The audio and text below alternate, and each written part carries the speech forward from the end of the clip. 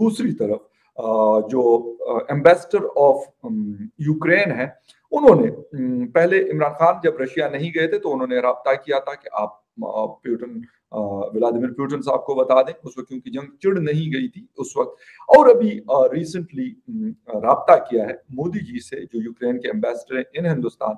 उन्होंने कहा कि भाई आप एक बड़े मुल्क के प्राइम मिनिस्टर हैं दुनिया आपको सुनती है आपका रिगार्ड करती है तो इस वजह से और प्यूटन आपके क्लोज अलाइज में से हैं फ्रेंड हैं, आप उनसे कहें कि ये जंग खत्म कर दें।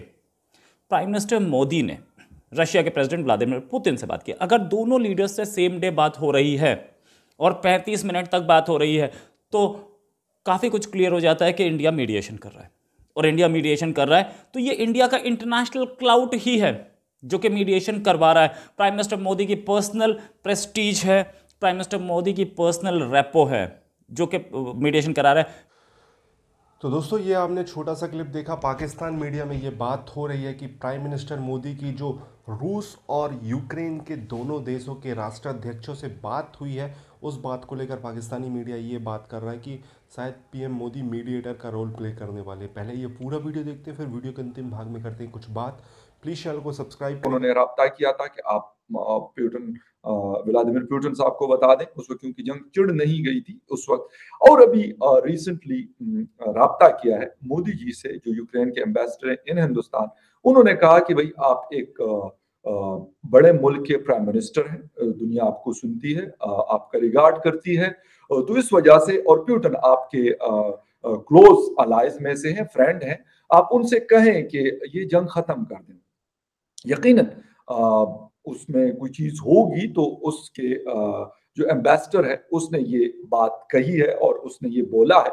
यकीनन उसके पीछे बहुत सारी चीज़ें हैं। क्योंकि वेस्टर्न वर्ल्ड हो या रशिया, उससे हिंदुस्तान के ताल्लुकात और तरह से हैं। अगर हम पाकिस्तान की बात करते हैं तो हमारे ताल्लुक और तरह से हैं। हम पीछे की तरफ़ गए, मुख्तलिफ़ इश्यूज़ के ऊपर, और बड़े सारे मसाइल जो हैं हमने देखे, वो क्रिएट हुए, वो सारा कुछ जो है वो होता रहा है। लेकिन मसला जो है, सबसे इम्पोर्टेंट जो चीज़ है, वो हमें देखनी है, और वो क्या है? वो ये है कि इमरान खान साहब ये दावे कर रहे हैं, इमरान खान साहब ये बातें कर रहे हैं कि भाई हम लोग जो हैं यानी वो अपनी बात कर रहे हैं कि हमारे से मुख्तलिफ़ किस्म की जो डिमांड्स हैं, वो की जा रही है, ये किया जा रहा है, वो किया जा रहा है मतलब ये सारी चीज़ें हैं, लेकिन क्यों, ये चीज़ें क्यों की जा रही है, इसके पीछे वजूहत क्या है? इमरान खान साहब बेशक हम ये कहते हैं कि आपको चार साल हुए, आए हुए लेकिन, इससे पहले भी मसाइल थे, लेकिन आपने हमारी जो फॉरेन पॉलिसी है, उसको मुकम्मल तौर पे मलियामेट कर दिया, मुकम्मल तौर पे डिस्ट्रॉय कर दिया, तबाह बर्बाद कर दिया। इमरान खान साहब ने एक जगह पे जलसे से खिताब किया और वहाँ पे उन्होंने कहा कि यूरोप यूनियन के जो एम्बेसडर्स हैं, उन्होंने हमें लेटर लिखा और कहा है। उसके ऊपर मैंने आपको बात की थी और आज यूरोप यूनियन के प्रेसिडेंट की इमरान खान साहब को कॉल भी आई है थोड़ी देर पहले, और उस पर फवाद चौधरी साहब ने कहा है कि भाई बातचीत हुई है और ये ये खैर खैर चीज़ें हुई हैं। तो यकीनन, इस चीज़ का रिएक्शन है, जो इमरान खान साहब ने एक रैली में बात की थी, उस चीज़ को सुनते हैं और उसके बाद फिर आगे जाते हैं कि क्या चीज़ें जो है वो हो रही हैं। यूरोपियन यूनियन के एम्बेसडर ने खत लिखा पाकिस्तान को कि आप रूस के खिलाफ उसके मुखालिफ स्टेटमेंट दें, उसके खिलाफ वोट दें। मैं ये यूरोपियन यूनियन के एम्बेसडर से पूछता हूँ कि क्या आपने हिंदुस्तान को भी ये खत लिखा था?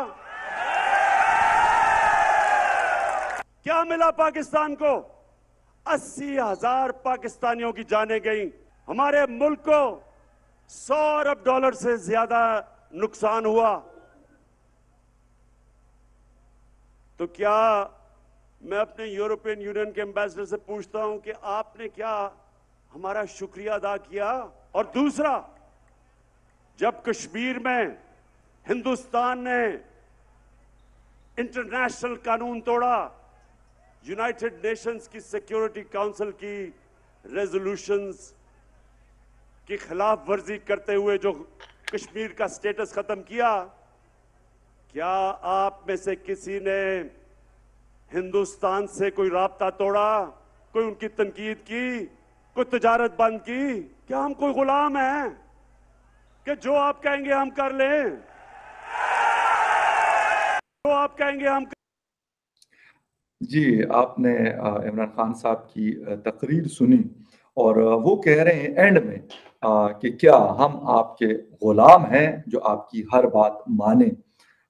तो मेरे ख्याल में ये वाली बात इमरान खान साहब ने ठीक की है कि हम हैं।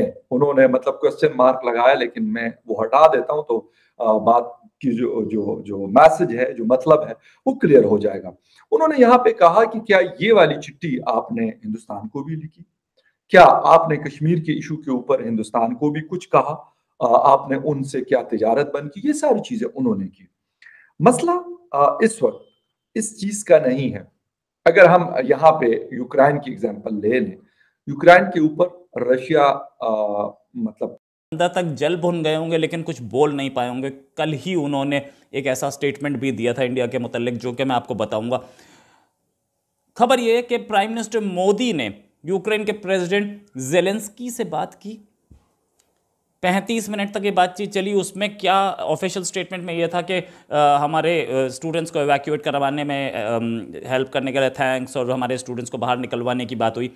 उससे पहले प्राइम मिनिस्टर मोदी ने रशिया के प्रेसिडेंट व्लादिमीर पुतिन से बात की। अगर दोनों लीडर्स से सेम डे बात हो रही है और 35 मिनट तक बात हो रही है तो काफ़ी कुछ क्लियर हो जाता है कि इंडिया मीडिएशन कर रहा है। और इंडिया मीडिएशन कर रहा है तो ये इंडिया का इंटरनेशनल क्लाउड ही है जो कि मीडिएशन करवा रहा है। प्राइम मिनिस्टर मोदी की पर्सनल प्रेस्टीज है प्राइम मिनिस्टर मोदी की पर्सनल रेपो है जो कि मीडिएशन करा रहा है। पहले भी प्राइम मिनिस्टर मोदी के कहने पर युद्ध विराम हुआ था। कॉरिडोर दिया गया था बच्चों को बाहर निकलने के लिए, लोगों को बाहर निकलने के लिए। साथ में यूक्रेन के एम्बेसडर ने यह बोला था कि मोदी जी बहुत तो दोस्तों, ये वीडियो यहाँ पर होता है ख़त्म। आपने देखा पाकिस्तान के पत्रकार किस तरीके से बात कर रहे थे प्राइम मिनिस्टर मोदी की, जो फ़ोन कॉल पे बात हुई है रशियन प्रेसिडेंट व्लादिमिर पुतिन के साथ और यूक्रेन के राष्ट्राध्यक्ष के साथ। तो आप समझ सकते हो, इस बात के बाद ऐसे कयास लगाए जा रहे हैं कि प्राइम मिनिस्टर मोदी मीडिएशन की बात की होगी इनने। इनने दोनों देशों के बीच जो भी मामला चल रहे हैं, उसके किस तरीके से मामला को सुलझाया जाए, इस तरीके की बात की होगी, ऐसा कुछ कयास लगाया जा रहा है। हालाँकि आपको भी पता है कि जो फ़ोन कॉल पे जो भी बात हुई होगी, उसे ऑफिशियल तौर पर जो भी बात हुई होगी, वो तो बताया नहीं जाएगा। इफ़ इन केस अगर प्राइम मिनिस्टर मोदी मीडिएटर का रोल प्ले करने वाले हैं या मीडिएशन का प्रयास कर रहे हैं तो डेफिनेटली ये बात तो बिल्कुल भी नहीं बताई जाएगी, क्योंकि आप समझ सकते हो, अगर ये मीडिएशन करने में फेल होते हैं प्राइम मिनिस्टर मोदी तो ये एम्बेरसिंग मूवमेंट हो जाएगा। अगर सक्सेसफुल होंगे तो ऑब्वियसली ये दुनिया के सामने ये बातें आ जाएँगी। तो ये चीज़ तो है कि ऑफिशियल तौर पर तो ये नहीं बताया जाएगा। पता नहीं बात किस चीज़ को लेकर हो रही है, लेकिन मीडिया का काम है कि किसी ना किसी तरीके से कुछ ना कुछ कयास लगाए जाएँ। तो मुझे ऐसा ही लगता है कि ऐसा ही कुछ कयास लगाया जा रहा है। आपको क्या लगता है दोस्तों? प्लीज़ कॉमेंट में अपनी राय दे, चैनल को सब्सक्राइब करें वीडियो को